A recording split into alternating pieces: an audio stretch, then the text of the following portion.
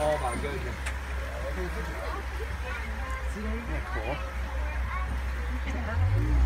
Coming up in front of us looks like a flock of greater flamingo. These are the lightest of the flamingo species, getting their color from their diet of brine shrimp and other water creatures that are high in carotene. It helps to turn